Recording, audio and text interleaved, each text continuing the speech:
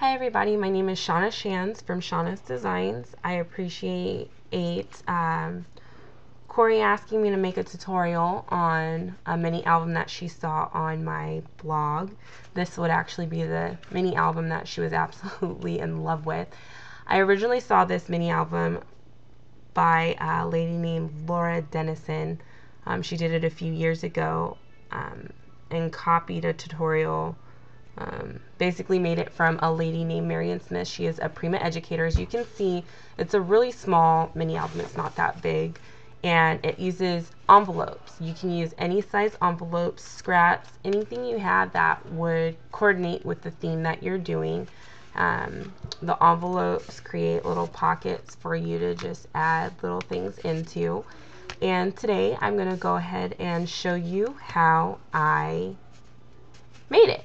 Um, for that particular mini album, I use three number 10 business envelopes. You can use the ones with the flaps at the top or on the short side. Um, what you want to do first is you're going to, if you're buying envelopes that have adhesive, just peel that strip, add a little bit more glue to the sides. Um, of course, I already glued this one.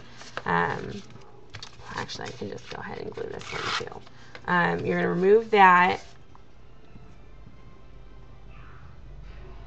I apologize if you hear my daughter. She's watching a movie. There's also some thunder and stuff outside. We've got some really bad weather coming in.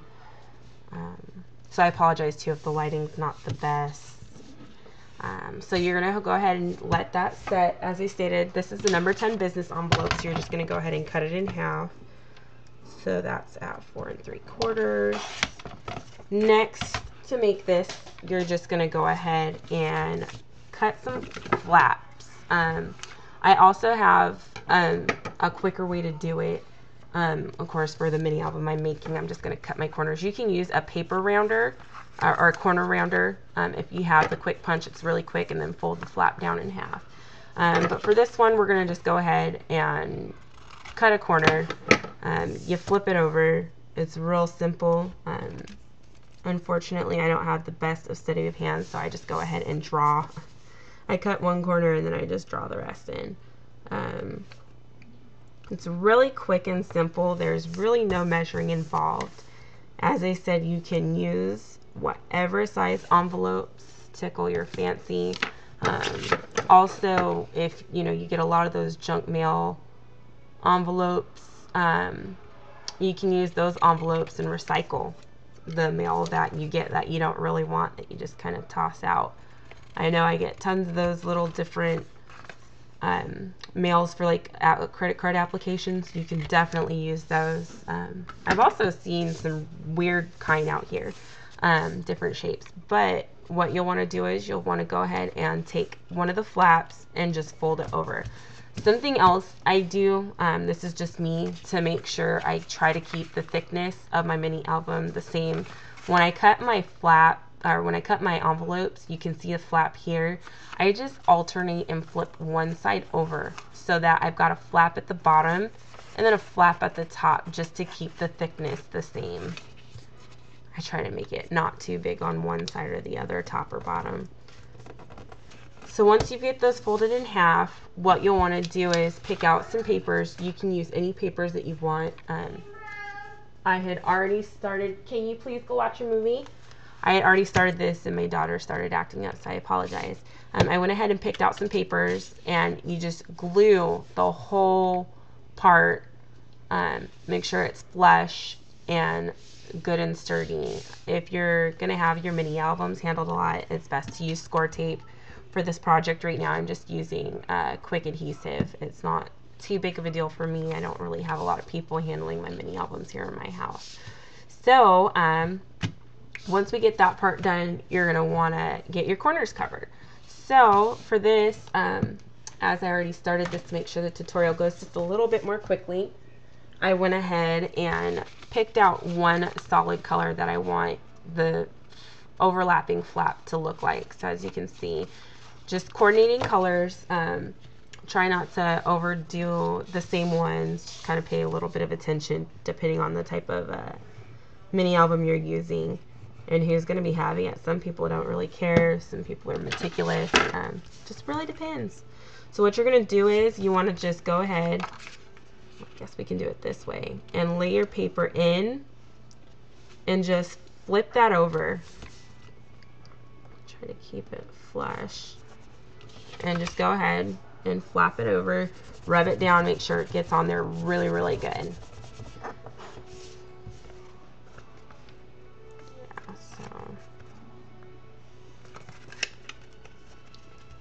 The awesome part too about wet glue is if you put it up too high, you can kind of just take it off and do it before it gets really set in there.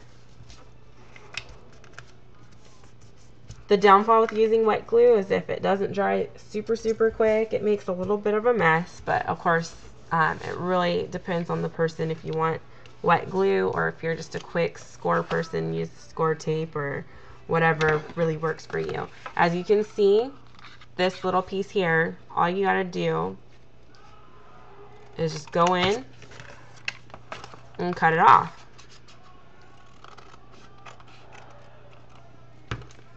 And then again, just cut this little corner right here off. Real simple, and then you've got a nice little flap. If you notice there's any pieces that aren't um, sticking down too well, just go ahead and smooth over it with a little bit more glue. Um, you could definitely use a glue stick. In my experience, glue sticks don't last long for me. Um, the paper actually does come apart. So once that piece is done, um, we're going to just take our scraps from what we covered our front pages with and go ahead and use the opposite and just tuck that on in there um, to get that fit. Make sure you use whatever kind of piece that you can. Um, it doesn't have to be perfect. Um, a lot of it's going to get covered. Um, it's going to get covered up by whatever you tuck in the pocket too. So just keep that in mind. Let's see if I can get this open. There we go. And just kind of smooth it out.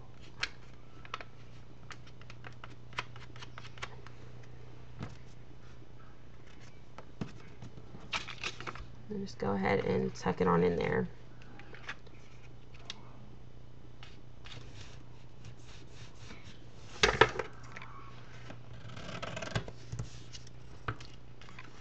If you can, kind of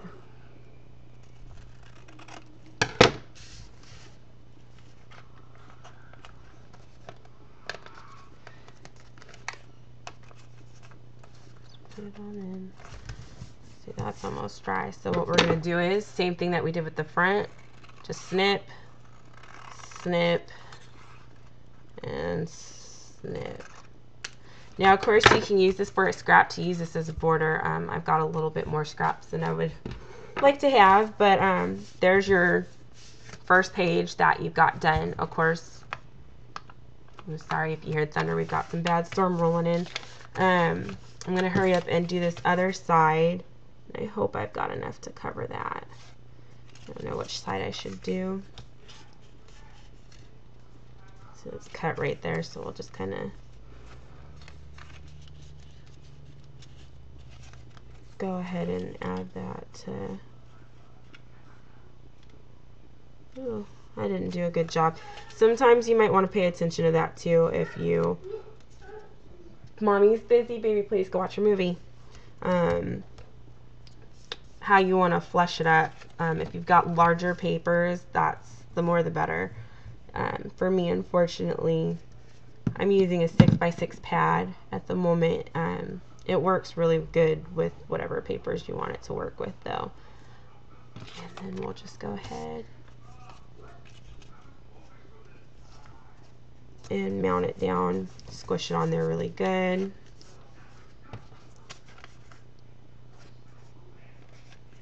And then, you know, like I said, just use your scrap from your other paper.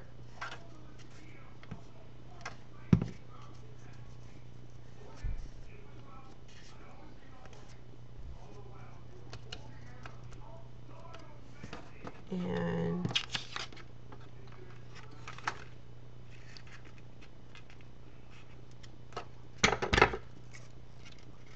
sometimes it helps too if you just kind of pre-cut whatever the size is that way. Oh, and I made that too small.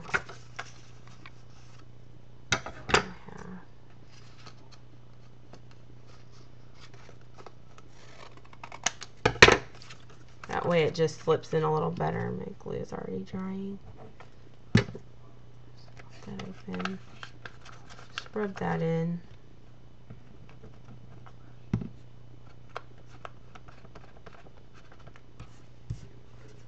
And then still just a little too big. Just go ahead and slide. See, there we go. That's perfect. Slides in a little bit, rub it down. And then we'll go ahead and flip this over. Just snip, snip around the envelope.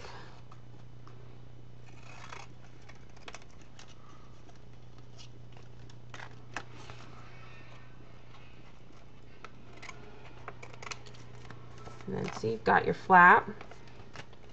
And we'll do the same thing with this side. Just come on in and, and trim it all off. Move our scraps out the way. And there you have two pages. Um, if you want, you can go ahead and cover the backs um, because they are, like I said, you know, it's a mini album. I am going to leave one of mine blank at the moment um, I'm not sure 100% what I want my backside to look like. So since this is going to be my front page, we'll just go ahead and adhere this to it.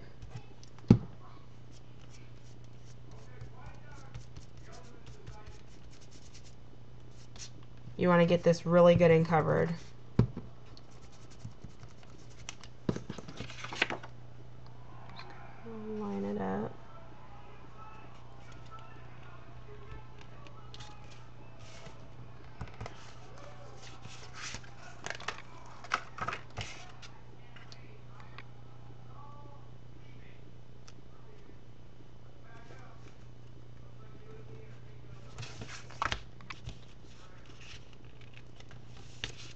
Goodness, I swear some of these pages, paper is never 100% the correct dimensions they say that it is. Sometimes you'll have a little bit of a hangover.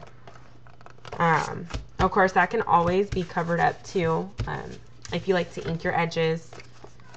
Once again, you know, really no measurement involved unless you want to.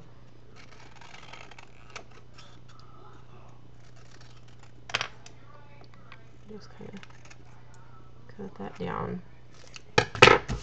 And then there's your page. So what you're going to want to do next is you're going to need a hole, something to punch holes. I use a crocodile. I call it my crocodile puncher.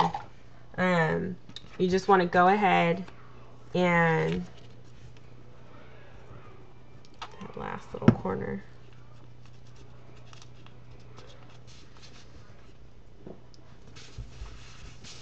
And um, punch your holes. Um, the awesome thing I love about this thing is you can actually measure how far in you want it to go and it stops the paper from going in there. So I just, you can make threes, you, you make three holes, you can make two holes. It's just really however you want the paper to go. Um, I've already done some of my holes on these, but what you want to do is you want to go ahead and line them up and just take a little marking utensil so you know where to punch your holes at.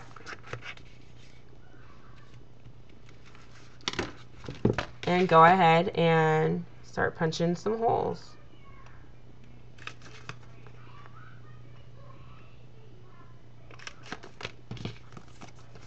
I do not have the world's steadiest hands.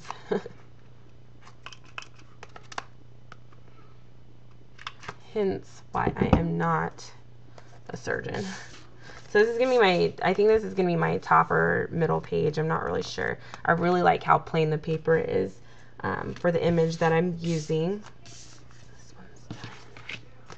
This one's done. This one's done. Get these last two pages. Um, because of how thick it is, I've never really tested it to see how much paper it can go through. But if you want, you know, you can do two at a time as like I'm doing now. um, next, you just want to make sure you get them in an order that you like, that you favor. This is going to be my last page, so I'm kind of letting that one hang out. I was thinking about having this one as my first.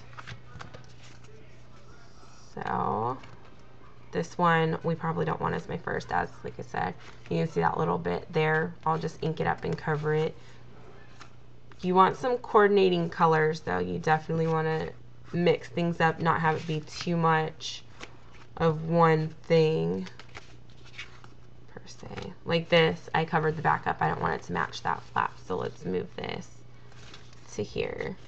There perfect. Um, so next what you're going to want to do is you're going to want to get your flaps down.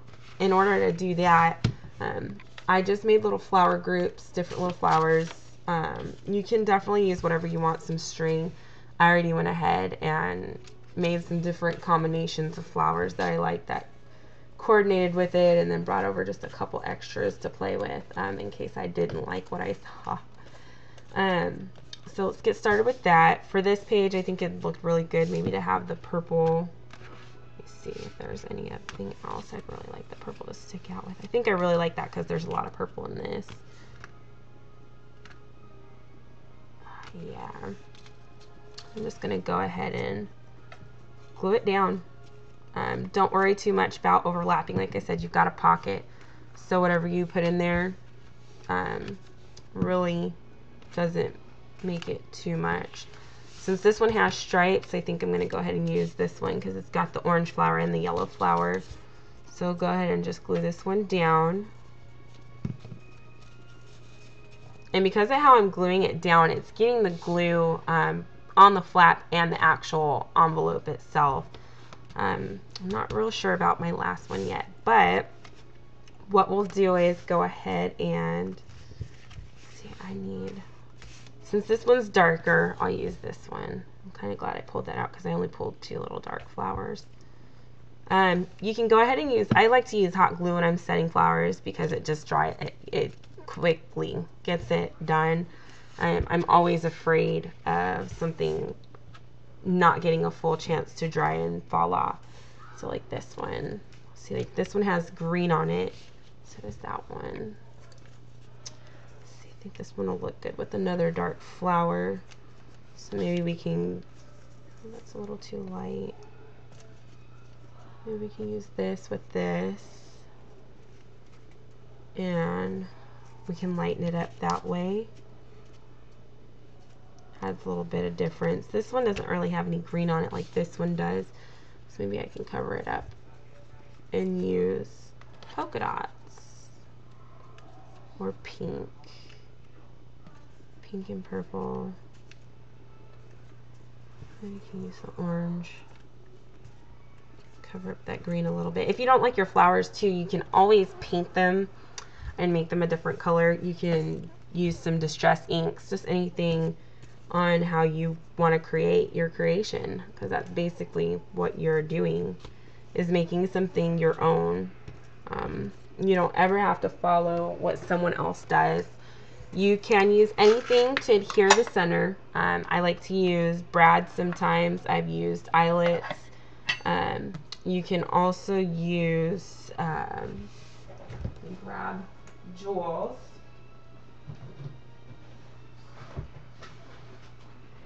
You can also use some bling. Um, it really depends on what you want to create in a look and a feel for. So like these ones here, I really like this set. Just kind of glue that one down since I'm not closing them off with a brad. Just add a little bit more glue. And just push that and hold it down. these ones. And then just for like a centerpiece, like I said, if you want like some bling, use some bling or um, pearls. I really haven't figured if I want it ultra vintagey, but we'll go ahead and add that in. And see, it just adds like a nice little touch to the center. Um, it really depends on the look you're going for, but whatever you feel, just go ahead and go for it. This one. I don't really see much blue um, on this page. So I'm going to go ahead and combine these with the blue brad. Push it all the way through.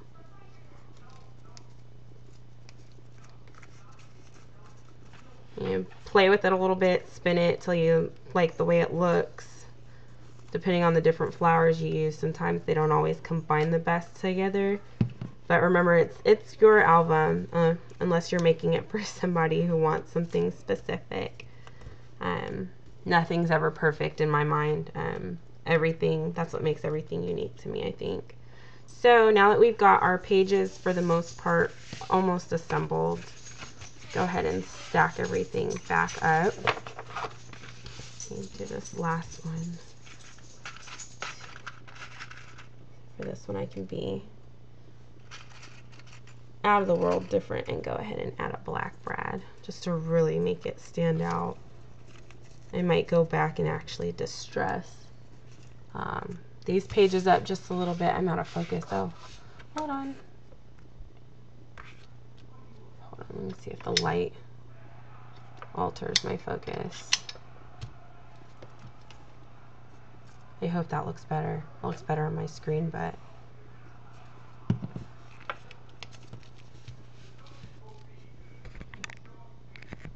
just a little bit more.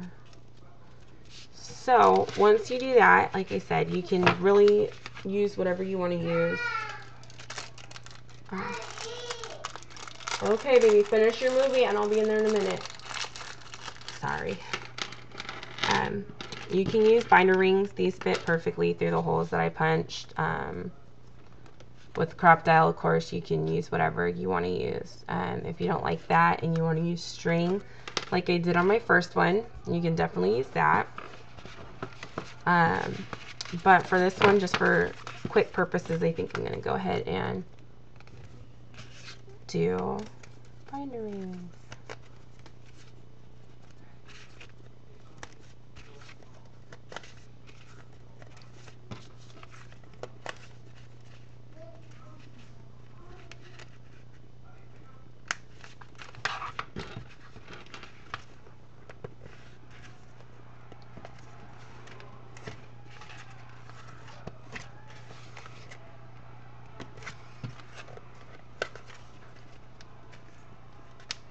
Okay, as you see, um, if you want to doll it up, you can definitely use um, some lace or ribbon, um, maybe some cheesecloth. Uh, but here's a good quick close-up. Um, you know, here you still have your pocket. The flower is not really intervening with that. Next, you've got um, just anything you want to do to put inside these, you're more than welcome to. Um, for the cover, I'm going to go ahead and add this cute little flower girl image um, from Perry Fairy Fridays. I went ahead and colored her. Yellow is like my favorite color right now, so um, I thought about doing that. And um, I really love roses. I don't think I have enough roses in my stash. And if you were to see how many roses I have for flowers, I got tons. I'm a flower hoarder. Um, I'm not quite sure how I want to mount her yet. Um, on here, but I will have pictures finished showing you each individual page and inserts um, just to keep it a little short. Um, quickly, I can show you some of the inserts that I made from my other one. Um, here, I just did a quick, um, a quick mat, photo mat. You can do some journaling, have another photo. Um, this one, it was just real quick. I used the corner punch. You can use photo mat, journaling, whatever you fancy. This one I played with corner punches, once again, you know, photo mat or journaling, whatever you want to do for the insides. It's your book, it's your creativity. This one I did just a quick little window. You can do whatever pleases you. Um, there are some very creative ideas out there. This one, I just tied this off with ribbon and I added a flower to the tag itself. Um, you can create your own tags or you can, um, I know a lot of people like the Tim Holtz tag dies and buy tags. This one I created just a little half circle. I did a lot of distressing um, on this mini album. I love distressing everything because it just makes it look a little bit more authentic um, and a little bit more personal, I think.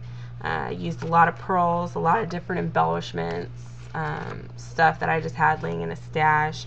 I did a lot of paper cut ups. This one I made like a little pocket tag, uh, tied it off with some just real easy trim that I had just laying around in my stash.